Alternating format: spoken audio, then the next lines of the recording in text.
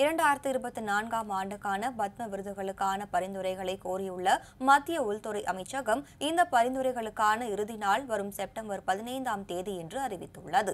ஒவ்வொரு ஆண்டும் குடியரசு தினத்தை முன்னிட்டு பல்வேறு துறைகளை சேர்ந்தவர்களுக்கு நாட்டின் உயர்ந்த பத்ம விருதுகள் அளிக்கப்படுகின்றன.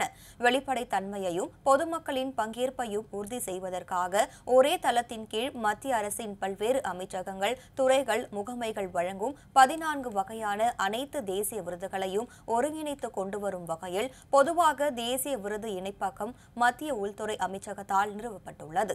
பத்ம விருதுகளுக்கு பரிந்துரைப்பதற்கான கடைசி தேதி இரண்டாயிரத்தி இருபத்தி மூன்று செப்டம்பர் பதினைந்தாம் தேதியாகும். பத்ம விபூஷன் பத்ம பூஷன் பத்மஸ்ரீ ஆகியவற்றை உள்ளடக்கிய நாட்டின் உயர்ந்த விருதுகளாக கருதப்படும் பத்ம விருதுகள் ஆயிரத்தி தொள்ளாயிரத்தி ஐம்பத்தி நான்காம் ஆண்டு நிறுவப்பட்டது. கலை இலக்கியம் கல்வி விளையாட்டு மருத்துவம் சமூக பணி அறிவியல் பொறியியல் பொது விவகாரங்கள் போன்ற அனைத்து துறைகளிலும் சிறந்த மற்றும் அசாதாரண சாதனைகள் சேவைகளுக்காக இந்த விருதுகள் வழங்கப்படுகின்றன.